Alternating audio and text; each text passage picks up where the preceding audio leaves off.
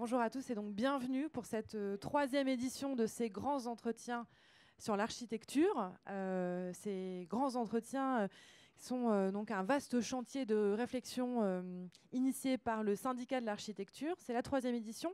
La première était axée sur la transmission c'était de grandes voix de l'architecture qui s'étaient réunies à Paris. L'année dernière, nous étions retrouvés à Bègle, Bordeaux, grâce à Jacques Puissant, membre euh, du syndicat, qui nous avait accueillis et où il avait été question notamment de la jeune génération. On avait aussi essayé d'avoir une approche un peu plus large que simplement l'approche nationale et donc on avait euh, invité euh, des architectes euh, d'autres pays européens pour confronter les pratiques. Et donc cette année, cette thématique s'est imposée parce que c'est une thématique qui a été secouée par l'actualité parlementaire, la thématique du logement. Donc vous le savez peut-être, vous avez suivi les débats parlementaires. La loi Elan a été définitivement adoptée par le Sénat mardi dernier. C'est un texte qui a beaucoup mobilisé contre lui, souvent. Euh, par cette profession qu'on dit euh, atomisée, fragmentée, mais qui, en tout cas, euh, aujourd'hui est bien représentée et qui va, je l'espère, avoir envie de dialoguer, d'échanger, d'échanger sur ces pratiques. Et donc, forcément, la loi Elan, elle va être la toile de fond des échanges aujourd'hui. Elle sera là en sous-texte. On va essayer de décortiquer cette loi, essayer de comprendre ce qui va changer, mais aussi comment on peut agir dans ce nouveau contexte.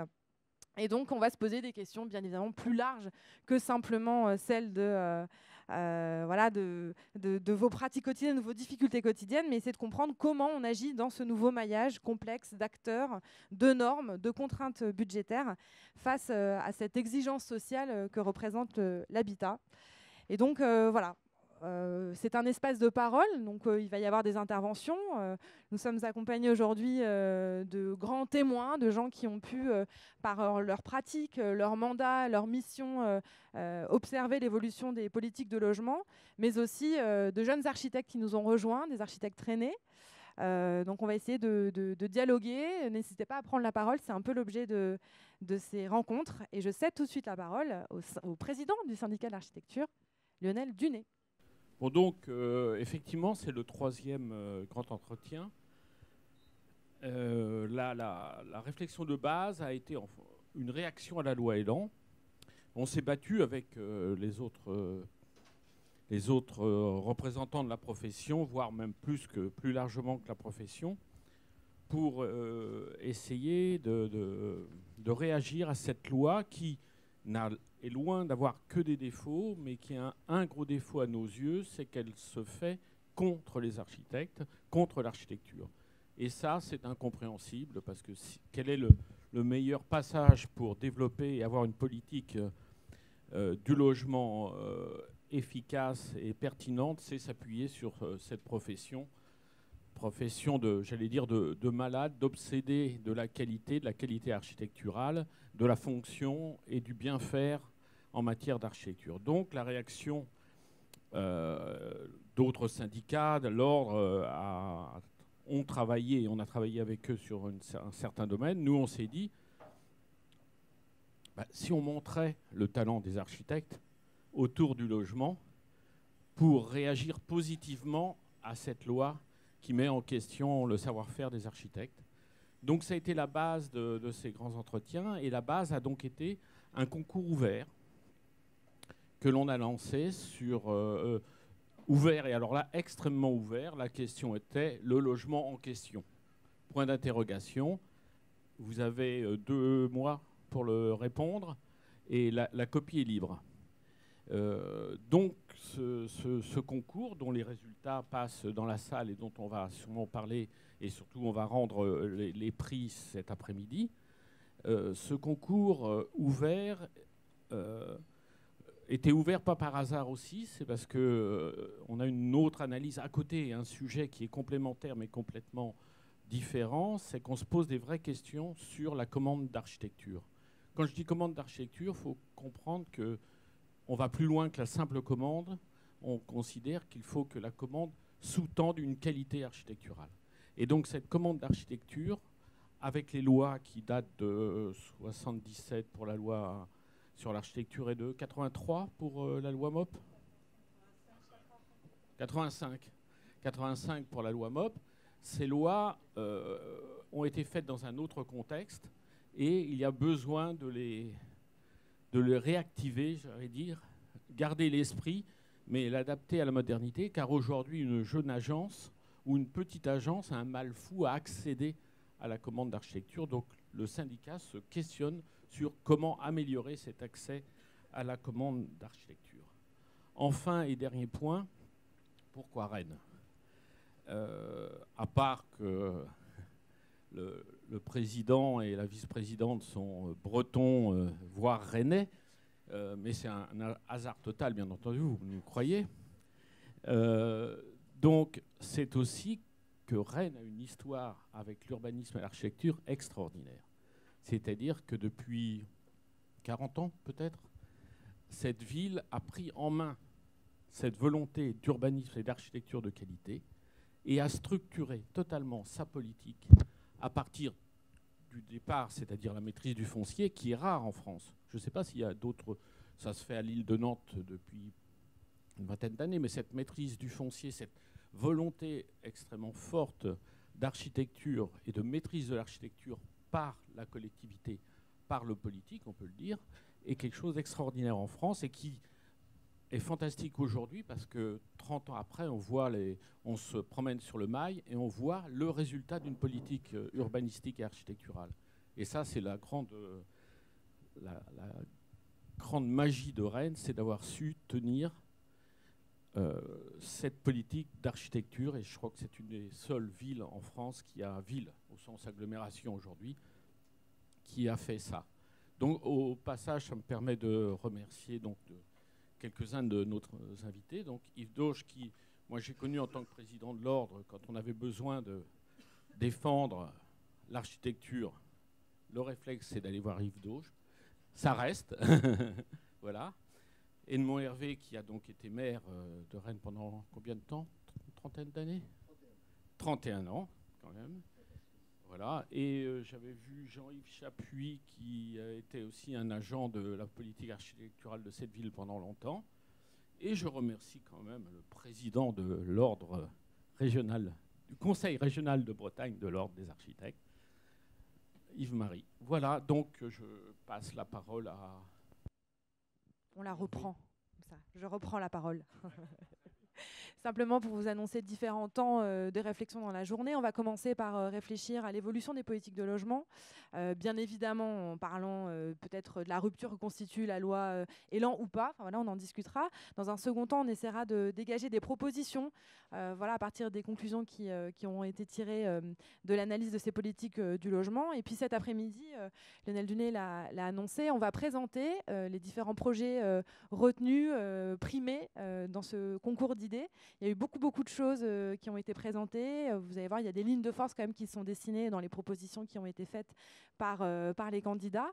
On va en discuter. Voilà, on aura des cas pratiques d'une certaine manière. On pourra regarder les plans, les propositions et discuter autour de, ces propositions-là. Et puis, et puis à la fin, on aura les conclusions classiques d'une journée. Donc on est dans un dispositif assez large, donc encore une fois, n'hésitez pas à prendre la parole. Et on voulait peut-être commencer par évoquer plus précisément le cas René, puisqu'effectivement, voilà, la, politique, la politique urbanistique et la politique architecturale à Rennes a été présentée comme vertueuse. Et donc je cède la parole à ma comparse du jour, Anne-Elisabeth Bertucci, qui est journaliste spécialisée, donc elle est largement armée pour, pour vous interroger. Voilà. Bon, donc bonjour, moi je suis donc la comparse de Claire, Anne-Elisabeth, euh, la locale de l'étape. Euh, effectivement, on s'est dit, bah, Rennes, Rennes c'est une ville, euh, le logement à Rennes, quoi de plus naturel que, de parler de logement à Rennes. le modèle rennais est souvent cité en exemple, on, le voit bien. pour parler de, ce modèle vertueux, nous avons euh, on peut dire son artisan, puisque Edmond Hervé a été maire de Rennes de 1977 à 2008, hein, je crois.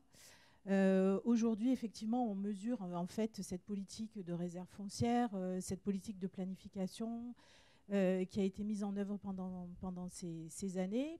J'avais relevé quelques chiffres, quelques chiffres intéressants il y a à peu près, euh, on aurait pu, vous me contredirez si, euh, si je me trompe, mais 4000 euh, logements produits par an, c'est ça, à peu près à Rennes? On est plutôt aux alentours de 5005. Euh, la durée d'attente euh, pour l'attribution d'un logement social, c'est moins d'un an, alors qu'en en France, est, les, seuils sont bien, au-delà. Donc, euh, on est vraiment dans une ville qui, est citée en exemple. Et ce qu'on avait envie de demander à Edmond Hervé, c'est quels sont les ressorts de ce, de ce modèle vertueux? Quelles sont ses spécificités qu'on nous a envie? Et est-ce qu'aujourd'hui, dans le contexte actuel, donc on parle de crise du logement, euh, est-ce qu'il est toujours adapté euh, On va vous, peut-être vous laisser prendre le, micro pour que vous, nous racontiez euh, comment, comment a émergé ce modèle et quels en étaient les ressorts en fait et la volonté politique. Merci bien. Merci tout d'abord de m'avoir invité. Vous me donnez euh, l'heureuse occasion de retrouver beaucoup d'amis, y compris ce jeune homme. Nous nous fréquentons depuis la fin des années 70. Euh, Et je retrouve aussi des, visages d'architectes ou de personnes avec lesquelles j'ai collaboré. Alors, très rapidement sur le cadre du temps qui a été le mien, 1977-2008. Euh, Premier élément important, la décentralisation pouvez pas vous imaginer euh, le changement de nature que les lois de décentralisation de 82-83 ont apporté. Simplement, lorsque l'on parle de Rennes, mon prédécesseur Henri Fréville, pour lequel j'ai beaucoup d'estime et, de reconnaissance, faisait partie euh, de, ces, maires qui avaient un pouvoir de négociation auprès de l'administration. Et euh, quoique la centralisation urbaine et urbanistique soit très forte, il y avait incontestablement, du fait de sa personnalité, du fait aussi de son entourage, un rapport, je ne dirais pas euh, égalitaire, mais un rapport qui permettait le dialogue. Et dans son entourage, je voudrais citer un nom, le nom de Guy Wist. Guy Wist qui a été l'un de tes prédécesseurs en tant que haut fonctionnaire et qui était aussi euh, maire adjoint. Pour la petite histoire, avant 1977, euh, à Rennes, on a innové avec ce que l'on appelait les locaux résidentiels. Les locaux résidentiels, c'était quoi? C'était des surfaces dans les grands immeubles qui étaient financés par euh, les promoteurs après négociation. Cette notion de négociation fait partie d'une continuité rennaise. Je ne parlerai pas de modèle, c'est à vous de, le voir. Donc, premier élément, euh, la, décentralisation. Deuxième élément, d'ordre philosophique, une ville doit accueillir. Lorsque j'emploie le mot ville, c'est à la fois la commune, Rennes, la commune, ou l'agglomération. L'agglomération, à l'époque, était organisée en un district, puis une communauté d'agglomération. Car lorsque l'on a affaire au logement, si on n'accueille pas, c'est l'exclusion. Et si on n'accueille pas, c'est l'inflation. Et moi, je ne suis pas un grand économiste, mais lorsque je constate que euh, en France, c'est entre 20 et 40 du revenu que l'on consacre au logement, c'est une situation absurde qui a des conséquences générales sur l'économie. J'ai toujours été frappé que l'on parle de la dépense de sécurité sociale et que l'on ne parle pas de la dépense de logement. Je clôt ma parenthèse. Cette notion d'exclusion, pour moi, est inadmissible parce que euh, je me réfère à des valeurs comme vous, notamment la valeur d'égalité.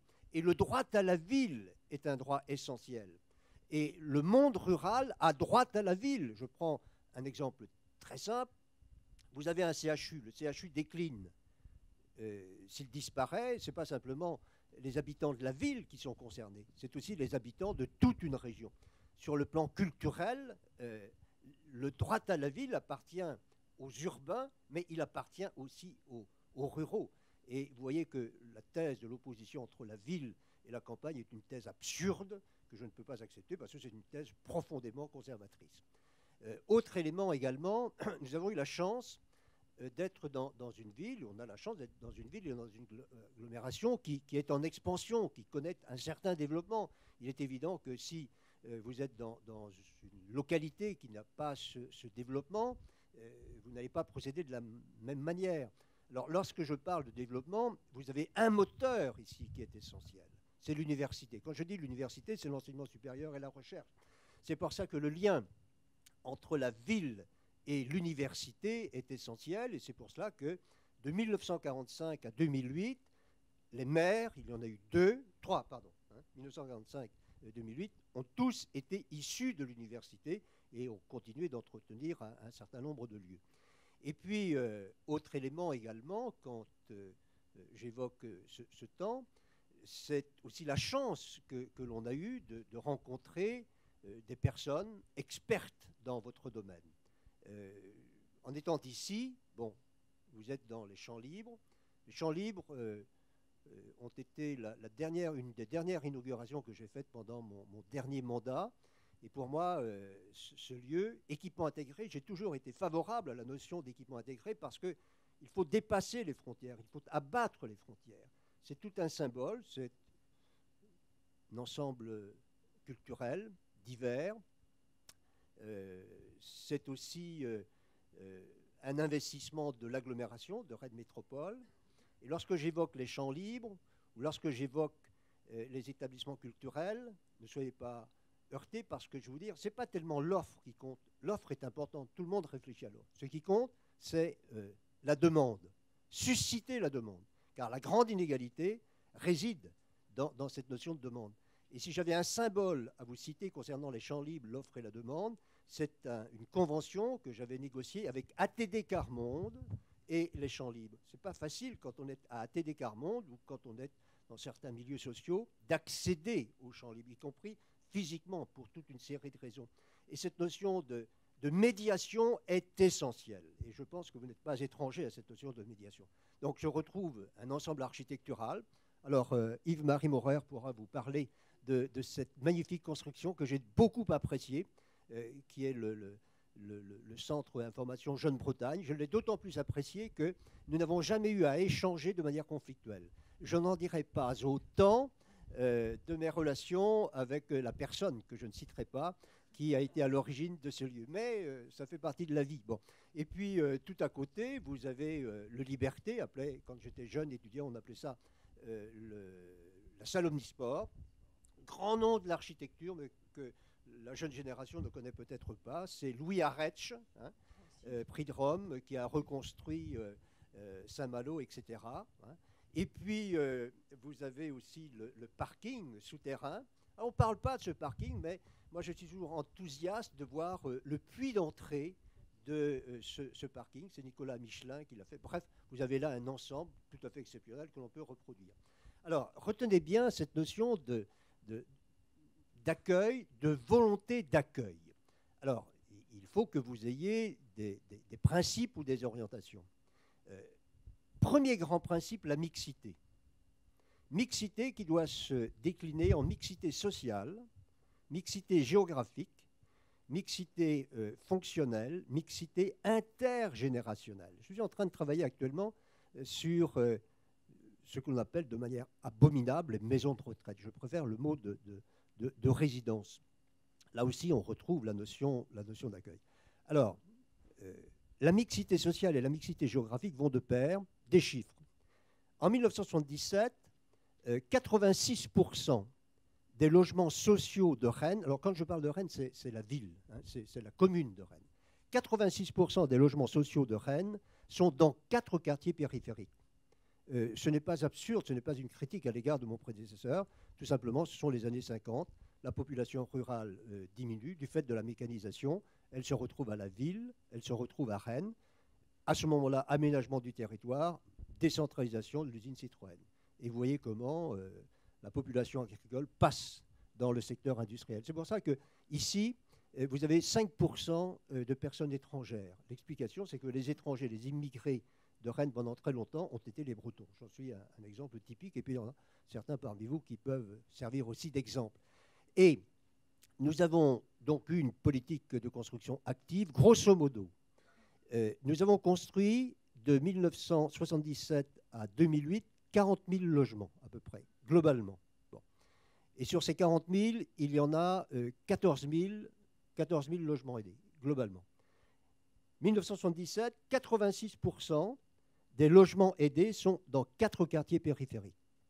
Classique. Ici, parenthèse aussi, le mot de banlieue. Alors, je ne sais pas si Honoré, ça a changé, mais de mon temps, le mot banlieue ne, figurait pas dans notre vocabulaire. Donc 86%. Et donc en 31 ans, nous avons réussi à, faire, à évoluer la localisation géographique de, ces logements puisque euh, on, a, on a construit donc 14 000 logements euh, aidés, il y a eu de la réhabilitation, et donc de 86%, on est passé à 66% en 2008. Pour moi, c'est élément essentiel et c'est l'épreuve de vérité. Alors, 86%, 77, 66 en 2008, ben, ça fait 20% de moins. Et tous les quartiers en ont bénéficié. Mais vous voyez, on ne fait cela que par une politique de construction active et d'autre part, 31 euh, ans. C'est pour ça que le temps de la ville est un temps très long et la notion de temps est, essentielle. Alors voilà un, élément que je, souhaitais euh, vous citer. Deuxième élément aussi, euh, d'ordre technique, mais il n'est pas que technique, c'est la notion de ZAC. nous avons dû, de 1977 à 2008, avoir plus de 30 ZAC. Euh, sur les 30, grosso modo, 25 publics, 5 euh, privés. Mais ne croyez surtout pas qu'à Rennes, une ZAC privée est étrangère à la mairie et à la municipalité. Lorsque vous avez une ZAC privée, vous pouvez négocier, vous pouvez avoir de l'influence. Encore faut-il avoir la volonté de négocier, encore faut-il aussi avoir les, moyens de négocier. Alors un élément qui a compté dans, ces négociations, dans, nos ZAC, qu'elles soient publiques ou privées, c'est aussi euh, le professionnalisme du monde de la promotion. Euh, nous avons eu la chance d'avoir d'authentiques promoteurs professionnels rennais ou bretons. Pourquoi je cite cela? Parce que lorsque vous avez des promoteurs qui sont de passage, eh bien, quelquefois, ils peuvent faire des coups. J'ai été confronté à cela dans euh, la propriété Auberture par un promoteur extérieur qui avait d'ailleurs travaillé sur Rennes. On fait des coups. Lorsque vous avez des, promoteurs qui sont ancrés dans la région, dans une ville, qui sont aussi des professionnels, ils savent que, sous réserve que, attention, ils savent que si s'ils font un coup, ils n'en font pas deux. Mais pour ça, il faut aussi avoir la, volonté. Donc cette notion de ZAC, elle est fondamentale parce que d'abord, c'est une, c'est une procédure fondamentalement démocratique et je voudrais devant vous insister sur ce point. Elle est démocratique parce que quand vous faites une ZAC, il y a au moins une dizaine de délibérations qui sont prises. D'autre part, vous êtes tenu à des enquêtes d'utilité publique, vous êtes tenu à des informations, donc la population s'y intéresse ou ne s'y intéresse pas, mais elle a la possibilité de s'intéresser. Et c'est là que, en tant qu'architecte, vous avez aussi à intervenir et à vous exprimer. Donc cette notion de ZAC, pour moi, elle est fondamentale et il ne faudrait pas que nous l'oublions. Si vous contentez de travailler dans le diffus sans ZAC, il n'y a, pas de délibération du conseil municipal, c'est une délibération pour vendre un, terrain. Et puis, dernier point, ce que j'appelle un supplément de, volontarisme, plus spécialement la, démarche intercommunale. Parce que dans une agglomération telle que la nôtre, hein, euh, il y a différents marchés immobiliers mais c'est un ensemble. Quand on dit Rennes, euh, ce n'est pas simplement la commune de Rennes, c'est l'agglomération. Et vous êtes aussi dans une agglomération où la, démarche de coopération qui a été initiée par mon prédécesseur dès 1977 pour accueillir de grandes écoles, parce que euh, Rennes, c'est 5000 hectares, et euh, pour accueillir un certain nombre de grandes écoles, de grandes institutions, eh bien, il, faut, il faut aller vers l'extérieur. Et en 1970, on, a donc créé le district urbain euh, certains étaient favorables à l'époque 1970 à un syndicat, d'autres à une communauté urbaine. Mon prédécesseur était favorable à une communauté urbaine, mais il se heurtait à une opposition donc euh, district. Et euh, cette démarche intercommunale au bénéfice du logement a été enclenchée dès 1980 avec la création d'une commission de l'habitat au district. Nous avions déjà et encore une excellente agence d'urbanisme qui a créé en son sein, nous avons créé en son sein un observatoire, et grâce à un accord euh, un peu tacite avec le ministre du Logement de l'époque, Roger Quillot, que nous avons bien connu, le district a pu intégrer dans ses compétences le logement dès 1982-1983, ce qui euh, n'empêchait pas les communes de continuer à être compétentes dans le domaine du logement en vertu de la clause générale de, de compétence. Alors, je vais terminer par là. Le dernier programme local de l'habitat que nous avons fait a été adopté sans opposition. Il y avait 11 abstentions au niveau de l'intercommunalité en 2005. Et pour moi, ce programme local de l'habitat, qui devait être le troisième, est exemplaire. Exemplaire euh, de par son contexte et, de par sa construction et de par son application. Tout d'abord, Yves, tu vas, te retrouver dans, ces années, euh, fin des années 90, euh, début des années 2000, chute considérable de la construction de logements aidés. Hein.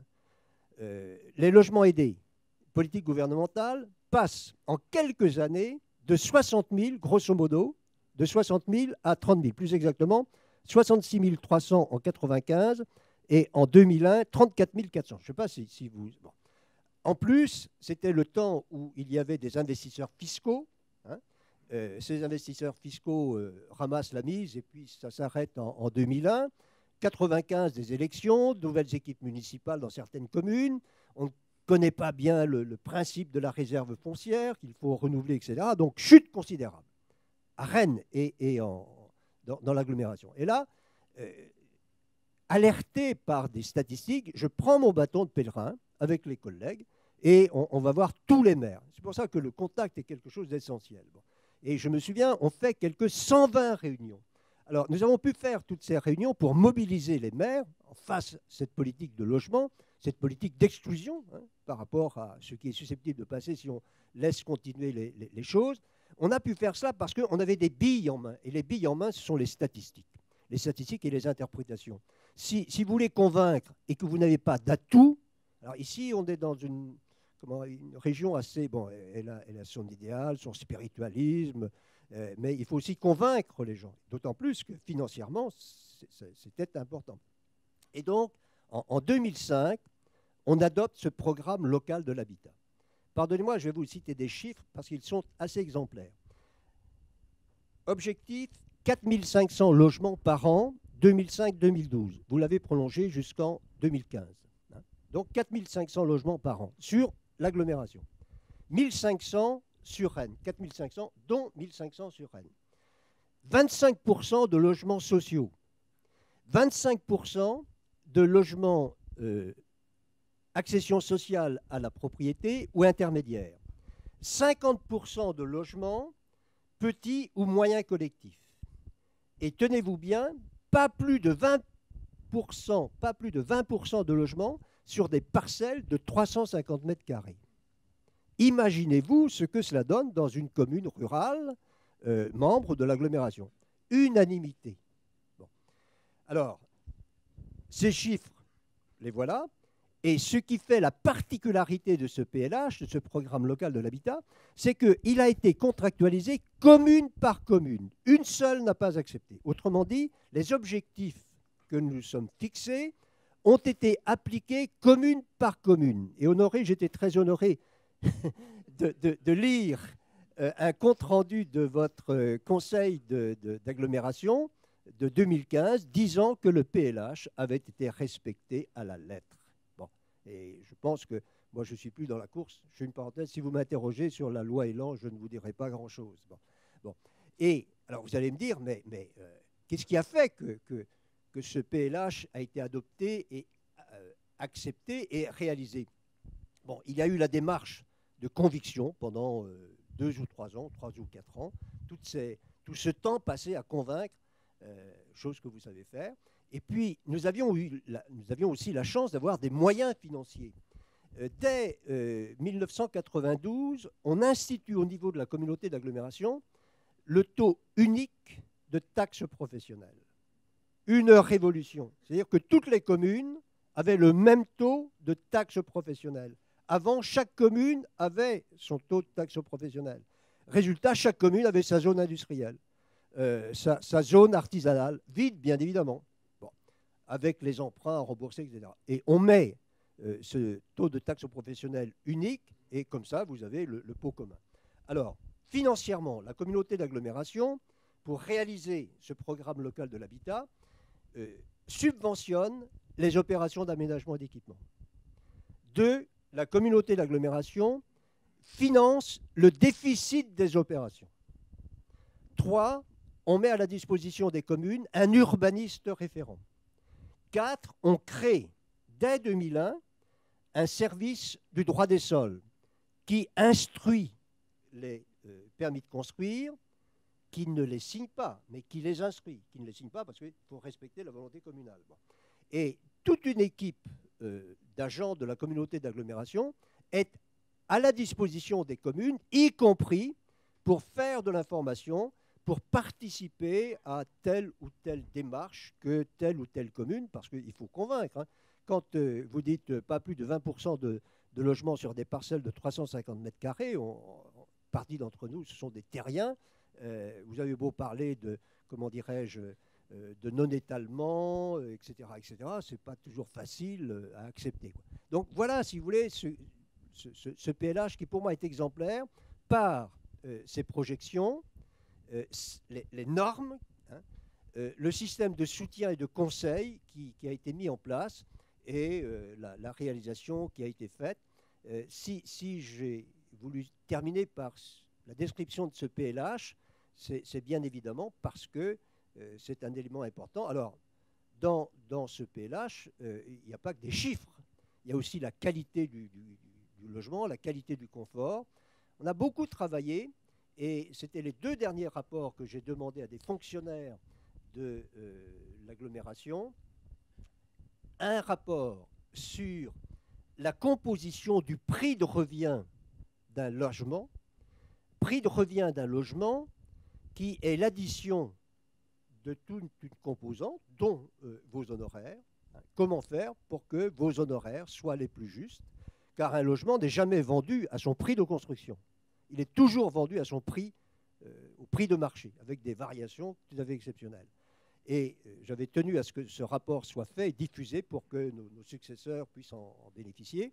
Et un autre rapport qui avait été fait par euh, euh, le, directeur général des services techniques de, l'agglomération sur le foncier, hein, sur la maîtrise foncière. Et la question que je me posais, mais est-ce que la, jeune génération va comprendre les, mécanismes et le pourquoi de la maîtrise foncière? Parce que la maîtrise foncière est un exercice difficile notamment, c'est un rapport que vous avez entre un acheteur, vous, et un vendeur, un vendeur qui n'est pas nécessairement euh, d'accord et, volontaire. Quand euh, vous, décidez euh, de, préempter, par exemple, alors, précision, les préemptions sur la ville de Rennes, c'était 1% des, déclarations d'intention d'aliéner.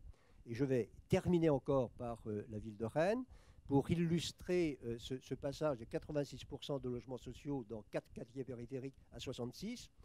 En 83, nous fixons comme objectif 1000 logements sociaux dans le centre-ville.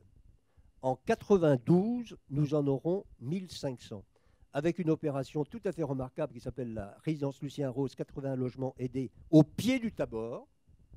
C'est là que vous voyez l'éventuelle concurrence entre la logique financière, la logique architecturale, etc. Et euh, une action de réhabilitation extrêmement forte. C'est ce qui m'a valu d'ailleurs de constater à l'époque qu'un très haut fonctionnaire pouvait prendre le temps de descendre chez les provinciaux rennais pour que euh, le maire puisse avoir l'autorisation d'installer des ascenseurs dans les logements sociaux ou futurs logements sociaux du centre Rennes, pensant euh, aux personnes de 80 ans qui pouvaient se retrouver euh, au quatrième ou au cinquième étage. C'était le temps des hauts fonctionnaires qui acceptaient de venir sur le terrain je les ai rencontrés. Et euh, ce haut fonctionnaire, c'était Yves Dauge. Mais on n'invite pas Yves Dauge n'importe où. Nous avons eu notre réunion dans une salle de l'hôtel de ville, là où se réunissait le tiers-État de Bretagne avant de faire la Révolution. Merci. Merci euh, Edmond Hervé. Vous faites euh, la transition avec Yves Dauge. Ce qu'on entend beaucoup dans votre discours, c'est le volontarisme. C'est revenu à plusieurs reprises pour montrer aussi que les élus ont leur mot à dire et qu'il s'agit aussi de rapports de force entre différents acteurs de la construction, les élus, les promoteurs. D'ailleurs, j'ai salué le fait que euh, vous parliez aussi de la promotion, pas simplement euh, voilà, de la commande publique, mais aussi du privé, c'est aussi très important. Et donc, je voudrais me retourner euh, vers Yves Dauge, puisque vous, vous avez parlé du caréné, qui est de fait exemplaire, mais Yves Dauge a aussi un regard qui peut nous intéresser, parce qu'un regard qui embrasse la réalité peut-être nationale. Je ne vais pas détailler votre CV, mais je vais simplement rappeler que vous avez été directeur de l'urbanisme et des paysages au ministère de l'Équipement dans les années 70. Euh, vous avez été président de la mission des grandes opérations d'architecture et d'urbanisme dans les années 80, délégué interministériel à la ville. Je ne vais pas tout mais tout ça pour dire que vous avez de fait euh, un regard qui nous intéresse pour essayer de comprendre comment évoluer ces rapports de force, justement. Euh, comment voilà l'expérience d'Edmond Hervé dans la, dans la ville de Rennes peut nous servir d'exemple ou peut-être de contre-exemple dans la manière dont les politiques se sont saisies de la question du logement bon, j'ai écouté euh, Edmond comme vous, franchement, euh, euh, ça fait du bien. Hein. et espérer que d'autres suivront ces exemples remarquables. avant de venir, bon, je remercie le syndicat et, toi, Patrick. bon, j'ai aperçu aussi Jean-Yves hier soir. j'ai appelé Robert Lyon pour lui dire je viens à Rennes.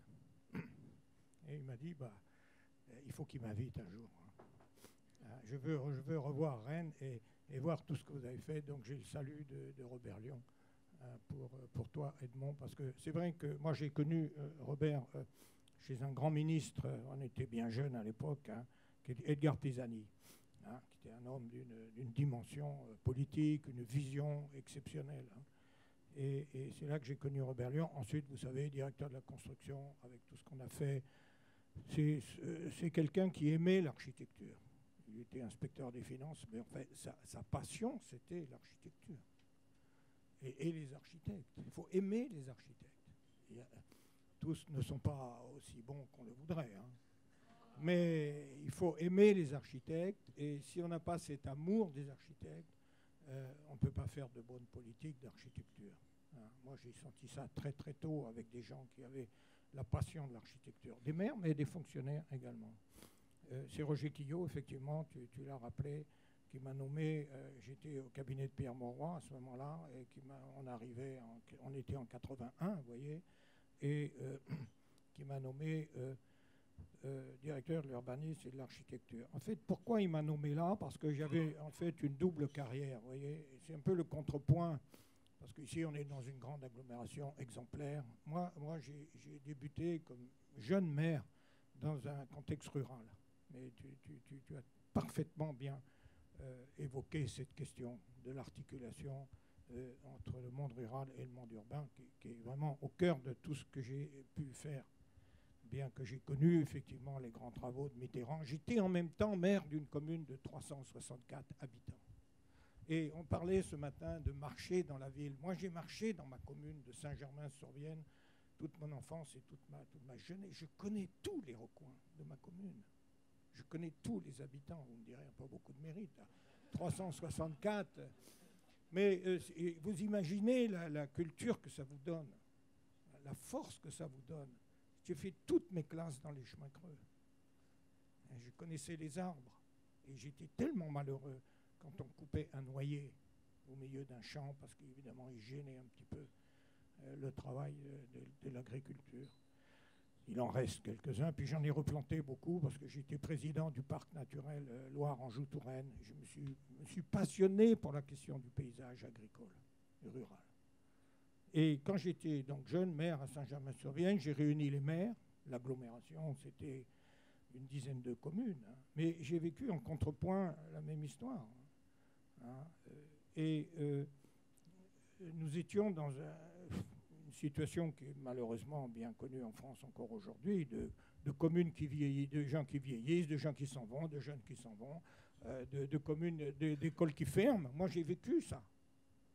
Et j'ai dit, mais on va lutter contre ça. On va renverser cette tendance-là. Et je me suis accroché à ça très, très tôt.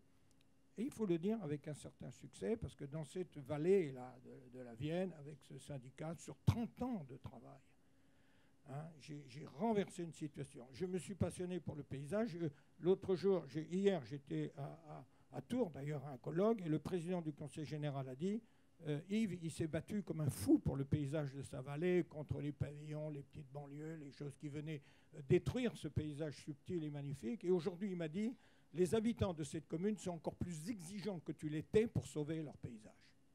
Ah ça j'ai dit, quel succès, hein, ce renversement. Mais comment j'ai fait? Ben, J'ai travaillé avec des architectes et, j'ai fait du logement. J'ai dit, il n'y a qu'une façon de sauver ce pays, c'est de maintenir et de faire revenir des gens. Avec quoi? Ben, Du logement.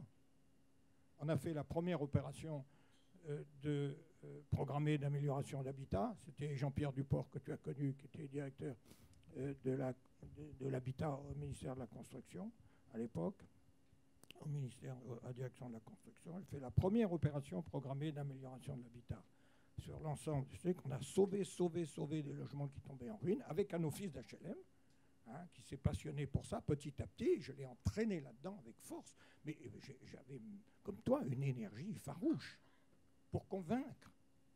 Ah oui, oui, hein, convaincre. Face, il faudrait toujours convaincre aujourd'hui d'ailleurs. Euh, et euh, euh, j'ai dit, on va faire du logement social, on va faire du logement neuf aussi.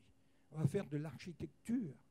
On va, on, va, on va créer du logement neuf dans le cœur du bourg. Voyez, hein. c'est pour ça que d'ailleurs, votre concours m'a intéressé parce que j'ai retrouvé des opérations du même esprit, notamment, je crois bien, les lauréates.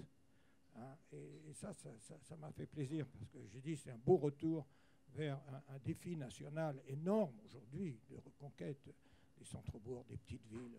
Que, vous savez, hein, on est en déprise partout. Je suis, je suis attristé de voir la France s'effondrer hein, dans nos provinces. C'est grave. Donc moi, j'ai lancé ça avec euh, des architectes, un garçon qui travaillait euh, là-bas avec moi, Louis Bourdin, qui a fait des petites opérations euh, très simples, très magnifiques, de logements sociaux, très bien incrustés dans la structure du village. Hein. Euh, et j'ai travaillé avec un homme que vous avez connu, les uns ou les autres, je pense, Lucien Kroll, un, architecte euh, extraordinaire. Hein, monsieur, monsieur Dauche, je m'excuse, je vous coupe. Je suis là. Vous avez, quand vous parlez de cette, euh, cette période-là, c'est à, quel moment que, que vous travaillez sur cette thématique Dans les mêmes années, on va dire. Hein. dans les mêmes années, j'ai attaqué cette affaire dans les années 70, fin des années 70, et, et, et puis les années 80 après. Mais les années 80, effectivement, j'avais déjà enclenché fortement ce, ce, renversement de situation avec euh, Lucien Kroll, il est intervenu sur deux écoles, parce qu'en même temps que je faisais du logement, hein, je faisais des écoles. J'ai articulé complètement les deux choses, soit par la réhabilitation, les gens revenaient ou restaient, soit par du logement neuf, c'était du logement locatif. C'était sur quel territoire De grande qualité. Hein. Quel, quel, territoire, en fait, euh, plus particulièrement? Sur quel euh, territoire géographique? C'est un, si vous voulez, c'est le long de la Vienne, dans la partie de la Vienne qui va au, confluent de la Loire. Après, euh, donc, on est dans, le département d'Indre-et-Loire. Bon, c'est pas le fond de la Corrèze, truc quand même. Si vous voulez, c'est une géographie qui, qui est peut-être plus facile que d'autres, parce qu'on a des territoires en France, je pense à, à, des petites villes ou des territoires ruraux dans le Grand Est ou en Occitanie, très très isolés, plus isolés que je n'étais. Mais quand même, moi j'étais dans une situation de déprise totale. En fait, on voit que ce problème euh, qui, a, qui est ressurgi aujourd'hui, puisqu'il y a eu pas mal de, plans euh, récemment. Il y a eu le programme euh, Centre-Bourg, revitalisation pour les centres-bourgs. vous avez également travaillé sur un rapport cœur de ville. Donc c'est un problème qui est récurrent et pourquoi l'architecture, qui est quand même un moteur justement de la revitalisation On voit que autour d'un bâtiment de qualité, d'un équipement de qualité, on fédère, on accueille de nouvelles populations. C'est vraiment un vecteur de revitalisation. Pourquoi finalement ce problème qui est récurrent, euh, il n'est pas résolu puisque vous y travaillez euh, finalement, il y, a un travail de fond qui a été fait? Ah non, mais il n'est pas du tout résolu. Je dirais même que la situation c'est singulièrement aggravé. Aggravé. Moi, j'ai suivi ça de près parce que j'étais acteur d'un territoire euh, sur lequel j'ai travaillé ardemment pour essayer de le, reconquérir. Et je, crois y est arrivé. J'y suis arrivé par une méthode. Hein, autour du logement, de l'habitat ancien réhabilité et de l'habitat neuf, mais pas n'importe quel habitat neuf. Moi, je n'ai pas fait des pavillons dans les champs. J'ai lutté contre ça. J'étais un des premiers à faire de la planification urbaine pour sauver l'espace rural et sauver le paysage. C'est pour ça que mon, directeur, mon président de conseil général m'a dit aujourd'hui, ils sont plus soucieux que tu ne l'étais encore de préserver leur, patrimoine paysager. Mais on était dans la fin des années 70, on commençait à faire les postes. Et donc, euh, euh, l'outil de planification est quand même absolument fondamental dans cette affaire. C'est à travers ça qu'on peut faire du foncier, qu'on peut faire de la politique, qu'on peut, faire du logement social. Moi, j'ai gagné ce- cette politique par du logement social. Hein, aidé par des gens comme Robert Lyon, qui avait une ambition formidable. On était, avec le logement social, hein, à l'époque, porteur d'une innovation architecturale. On était à la pointe. Le programme Architecture Nouvelle. Si vous voulez, il y a eu un moment là qui nous a servi tous quand même, hein, euh, avec, cette ambition. Et puis, c'est vrai, j'ai travaillé avec ce, garçon, l'architecte Louis Bourdin, hein, qui était un, un garçon extrêmement modeste, mais d'une simplicité, d'une qualité architecturale formidable, hein, qui m'a énormément aidé. Et puis, j'ai fait venir ce garçon, Lucien Kroll, dont, je parlais, hein, qui, m'a apporté quelque chose de, remarquable, hein, absolument remarquable. Il, a fait trois écoles dans, ces petites communes, là, et euh, il a fait euh, euh, plusieurs, euh, plusieurs opérations logement. et je voudrais bien d'ailleurs qu'on publie, ça a été publié dans certaines revues. D'ailleurs, au lieu unique à Nantes, il y a eu une exposition où- où il était venu il y a quelque temps. Patrick Bouchin lui a rendu euh, régulièrement des hommages et justifié, heureusement, Oui, parce que c'est quelqu'un qui, parce qui que, était un pionnier. Euh, si vous voulez, on est au cœur du sujet parce que je vois bien que ce, ce que dit euh, Edmond sur le sur l'importance du logement et de l'architecture a été décisif dans une politique de planification. hein. Alors, pas- oh. dans, dans une discipline. Au, au cœur de la, cette discipline, on a le foncier qu'on maîtrise. Et ensuite, avec le logement et, la qualité et, la qualité architecturale, euh, on, devient attractif. Et moi, été, je suis avec ce petit territoire devenu attractif. Et, donc, j'ai- vu des jeunes revenir.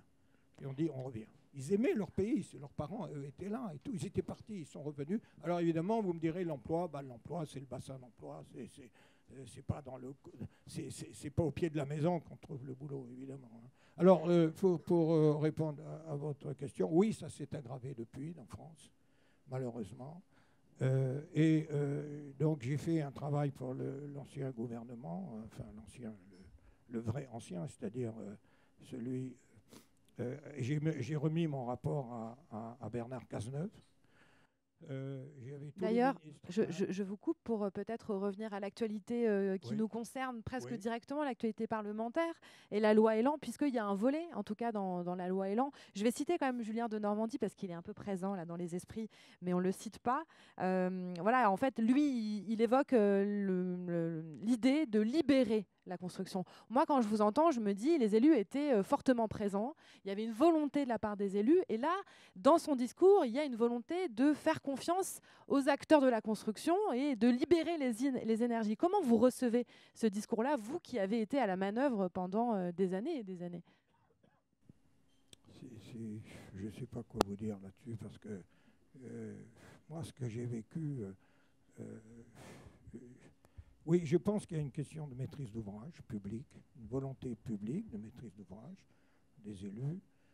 Dans le fond, je me dis, euh, il vaut mieux de bonnes lois que de mauvaises lois, mais euh, la loi, de toute façon, ne, pourra rien faire euh, si on n'a pas euh, des maîtres d'ouvrage, une, puissance publique, une maîtrise d'ouvrage public, une volonté, une ambition hein, qui se situe au-dessus des intérêts. Et c'est- On, c'est on ça parlait de rapport de force tout à l'heure, euh, Edmond Hervé. que Je ne veux pas caricaturer, mais je vais prendre un, un exemple très, très simple. Euh, en plein centre de Rennes, vous avez un très beau jardin qui a été conçu par euh, les frères Buller, que l'on retrouve aussi euh, à Lyon, etc. À côté de ce jardin, ou dans ce jardin, vous avez des serres municipales. Euh, 4 ou 5 hectares. C'est absurde d'avoir des serres de 4 ou 5 hectares en plein centre de Rennes. Tout comme c'est absurde d'avoir des lieux de stockage en plein centre-ville. Donc, on décide de déménager ces serres et de reconstruire euh, des serres municipales euh, à la bordure de Rennes. Alors, laissons les initiatives. Vous avez 4 hectares, là, magnifiquement euh, situés. Qu'est-ce que vous voulez en faire? Alors, euh, on laisse les initiatives. Moi, je vous conseille d'acheter ces 4 ou 5 hectares Et sur ces 4 ou 5 hectares, je vous garantis que vous n'allez pas faire 80 logements HLM. Voilà la libération des initiatives. Alors, il faut des mixités, c'est évident, il faut des mixités. Tout comme quand on, décide de préempter certains logements dans le, centre-ville, euh, si vous laissez faire, initiatives, enfin au sens que j'interprète, ce n'est pas des, gens du milieu populaire que vous allez... Euh, c'est pour ça, par exemple, que je suis fondamentalement hostile à la vente de logements HLM. Fondamentalement hostile. D'abord, quand vous prenez les HLM, c'est un bien public qui a été financé par euh, la collectivité. Alors, qui et, quel HLM C'est une banalité que je vais vous dire. Hein. qui et, quel HLM allez-vous acheter Bien évidemment, ceux qui sont les plus vendables. Et donc, vous allez aggraver les inégalités sociales. C'est pour ça que la, notion d'égalité ou d'inégalité est quelque chose de fondamental. Hein. Et cette notion d'exclusion, elle est terrible parce que l'exclusion, ça amène toujours euh, des, changements, des révolutions et, des violences. Les gens prennent conscience. Quoi. Hein.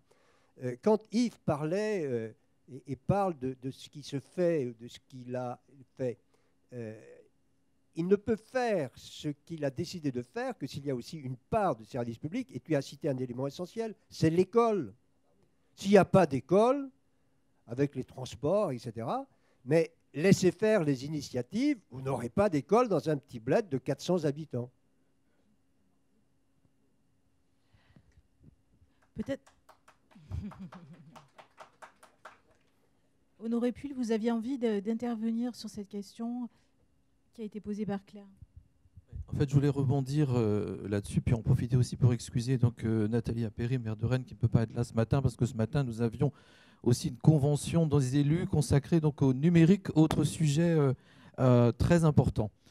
je voulais réagir en fait sur la loi sur la loi Elan pour dire deux choses, parce que la loi Elan, y a certaines dispositions qui sont positives, mais on oublie en fait aussi et surtout de parler de la loi de, la loi de finances. En réalité, c'est elle qui a posé le plus donc, de difficultés, et notamment la loi de finances donc, 2000, 2018. Euh, et c'est elle qui vient bousculer donc, très largement donc, le paysage dans lequel on avait l'habitude de travailler jusqu'à présent. La conséquence, c'est quoi? Sur le logement libre, ça a été la suppression, notamment, je prends l'exemple de la Bretagne, d'un certain nombre de dispositifs fiscaux, j'en passe, euh, de l'APL accession. Euh, la conséquence a été qu'un certain nombre donc, de promoteurs qui aujourd'hui ne peuvent plus produire, par exemple, sur le reste donc, de la Bretagne, rapatrient donc, leurs activités donc, sur Rennes et Rennes et Rennes Métropole, et pas tout Rennes Métropole, vraiment les communes entre guillemets les plus proches donc, du cœur euh, de son cœur, et la conséquence est une augmentation des prix donc, euh, de l'immobilier, ce qui nous oblige à continuer à innover. Je vais y revenir tout à l'heure. Deuxièmement, euh, la loi de finances également, euh, c'est la mise en place de quelque chose qu'on a beaucoup de mal en fait à faire comprendre auprès du public, qui est la réduction de loyer de solidarité. La réduction de loyer de solidarité, derrière cette expression un peu barbare, d'abord il n'y a rien de solidaire là-dedans.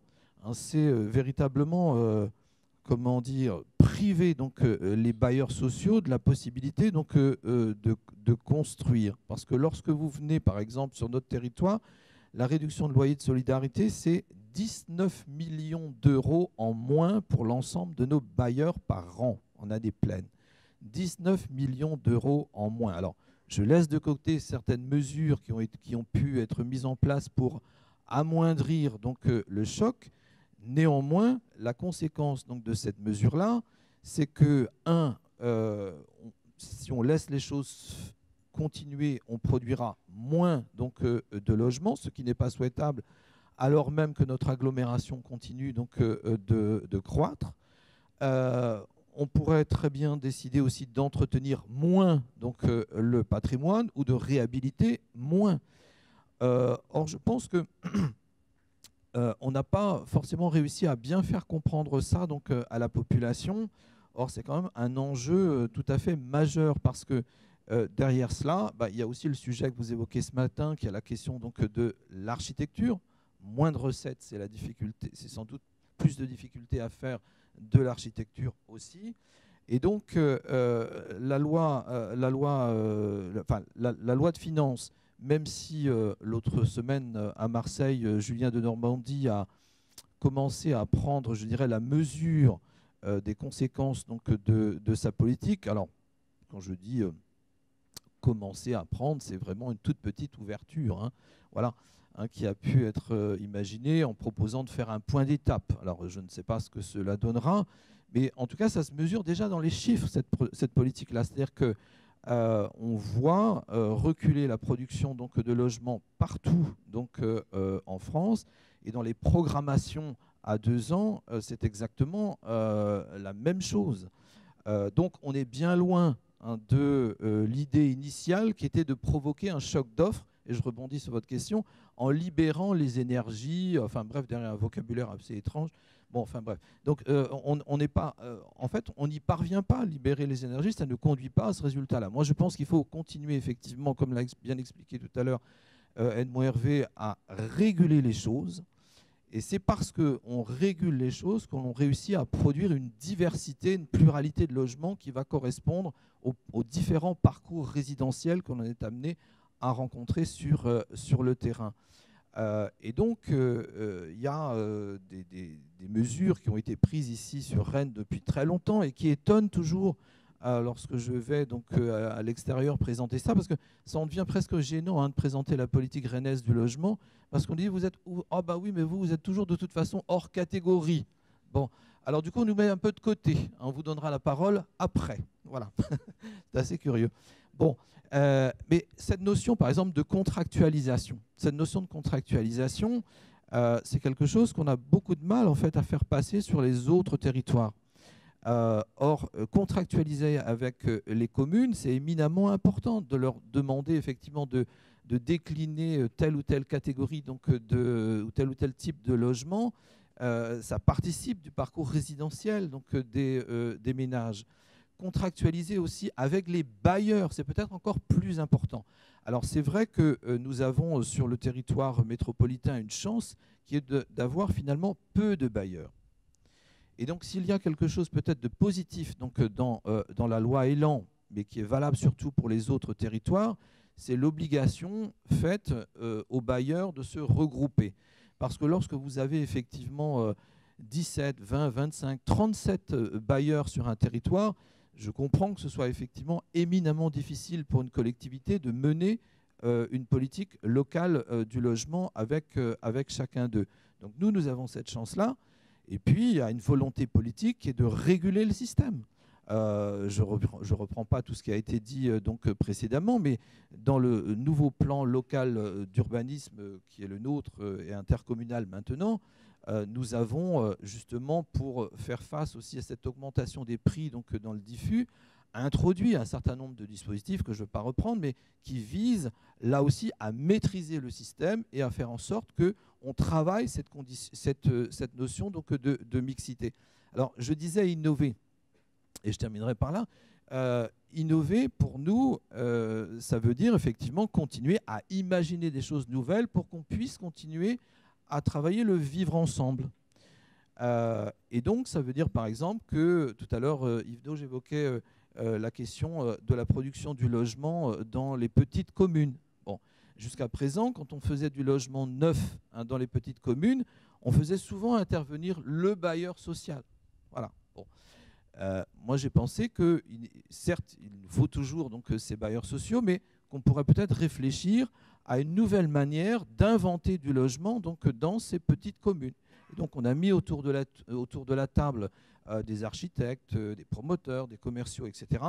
Et euh, tout ce beau monde a pour mission donc de, formuler des propositions nouvelles pour parvenir à quelque chose d'intéressant pour ces petites communes. J'espère que ça marchera.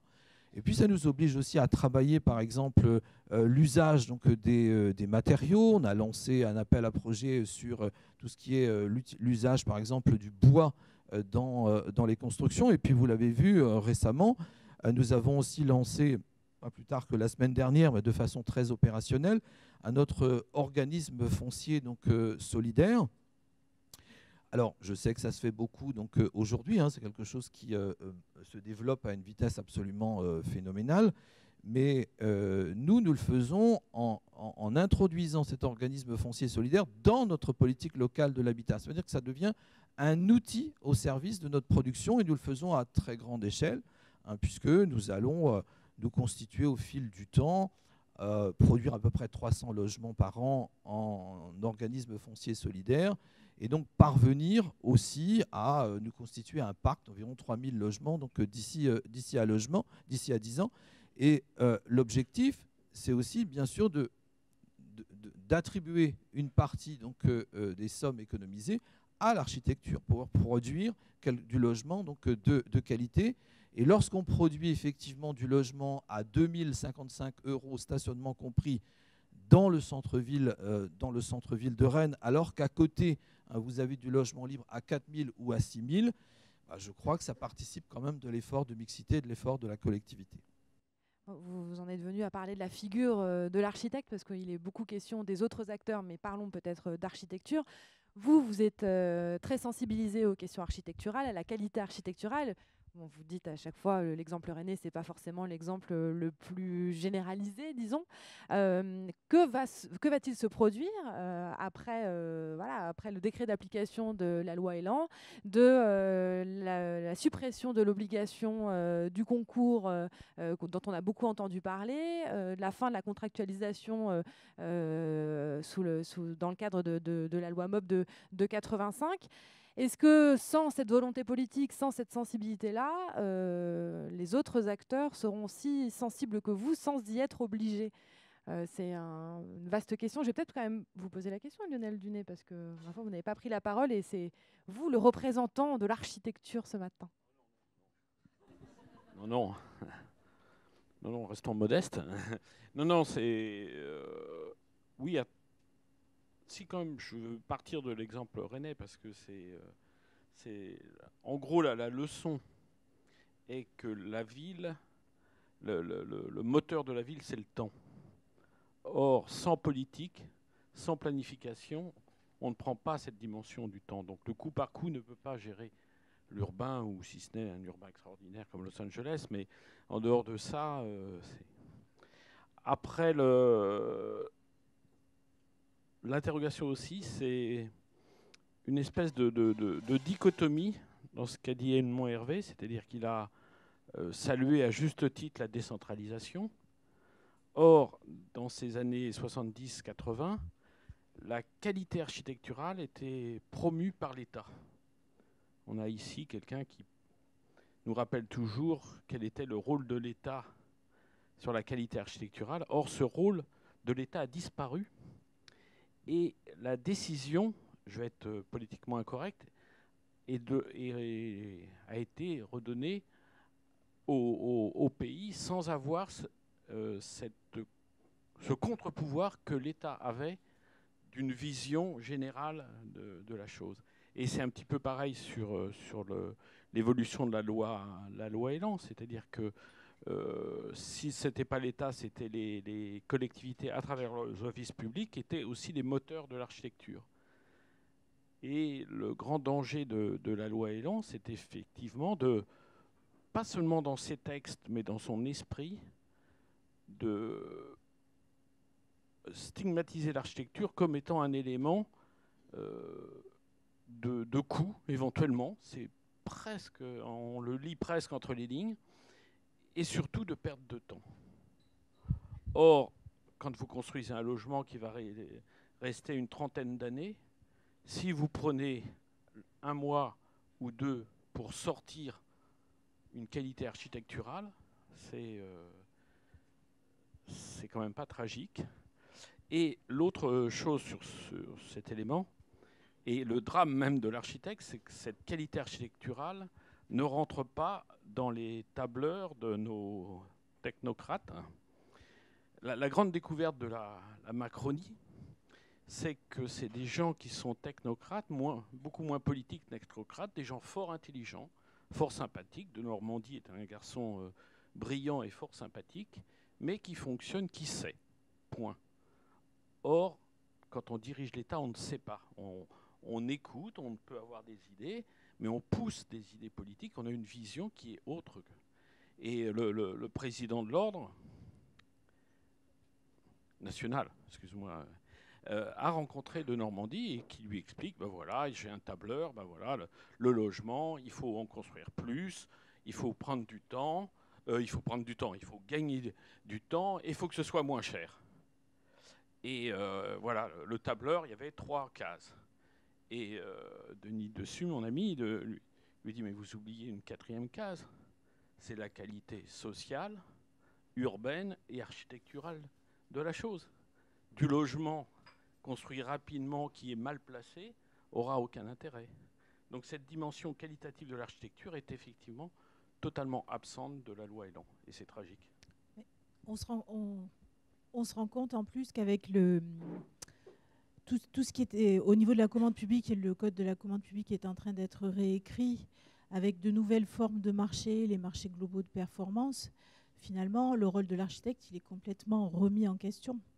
Et euh, ça, va, ça va dans le sens, en fait, de d'oublier finalement la qualité architecturale. Mais il y a des paradoxes par, par ailleurs, parce qu'on voit bien, quand euh, on a parlé de réinventer Paris, on réinvente... à ce moment-là, quand on, lance des grands concours ou des appels à manifestation d'intérêt, pour le coup, on fait appel aux architectes on a besoin d'eux. Alors, certes, avec des attelages promoteurs euh, tout-puissants, mais malgré tout, euh, les architectes ont fait appel à eux. On ne les paie pas forcément, d'ailleurs, à leur juste valeur. Mais euh, donc, c'est une profession aussi qui, est complètement secouée par, par le contexte aujourd'hui. Secouée. Ceci étant, quand on dit, ben voilà, on, associe des architectes et des promoteurs, je pense profondément qu'il ne faut pas qu'on s'isole, nous, architectes du monde qui évolue. Et c'est faux que c'est. S'il y a un concours d'architecture, même de promoteur, le promoteur est totalement dépendant de l'architecte pendant le moment du concours. Et là, l'architecte, il a une puissance terrible. Il faut qu'il soit bon, il faut qu'on soit excellent, on n'a pas le choix. Cette profession ne, ne survivra que si on est excellent faut pas qu'on finisse par se complexer. Au contraire, je pense qu'il faut retourner, comme au judo, il faut retourner la chose en disant on est bon, on est essentiel et on a un savoir-faire que les autres n'ont pas. Donc, même dans un concours de promoteurs, il faut que l'architecte se dise c'est moi qui fais le concours, c'est moi qui ai les cartes en main pendant le concours. Et c'est vrai.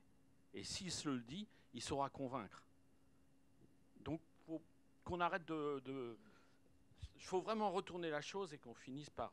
Après, c'est évident que, globalement, euh, je le redis, cette profession, un ingénieur calcule son radiateur, personne n'ira contester le radiateur. Même s'il ne chauffe pas, on ira chercher l'architecte pour dire euh, on a froid. Hein.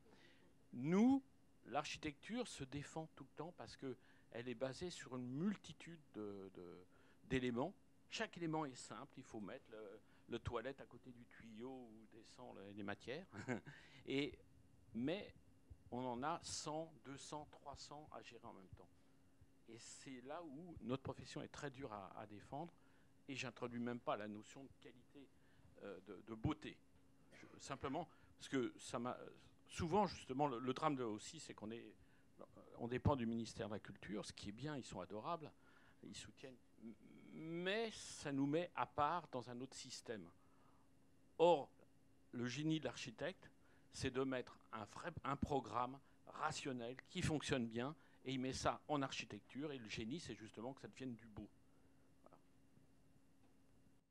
Merci. Je pense qu'on va faire une petite pause parce que voilà, c'est des, des, paroles très positives qui vont nous permettre, dans un second temps, de faire des propositions, de réfléchir ensemble à la manière dont l'architecture peut s'exprimer aujourd'hui et quels sont les interstices où on peut encore euh, défendre la qualité architecturale. On se retrouve tout à l'heure.